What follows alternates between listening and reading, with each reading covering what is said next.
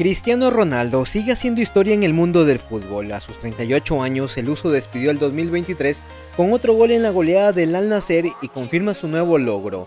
Ronaldo alcanzó los 54 goles y se convierte en el máximo goleador del año calendario a nivel mundial.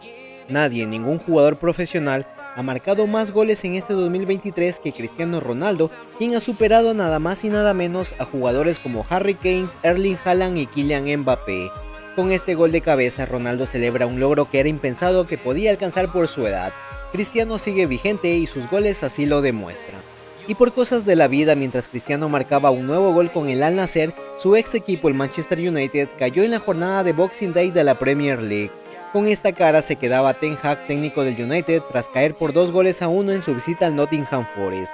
El United no avanza a salir de una vez por todas del mal momento que atraviesan y Ten Hag es uno de los más señalados. El técnico que provocó la salida de Ronaldo, el máximo goleador del 2023, está sufriendo paradójicamente por la falta de gol en su equipo.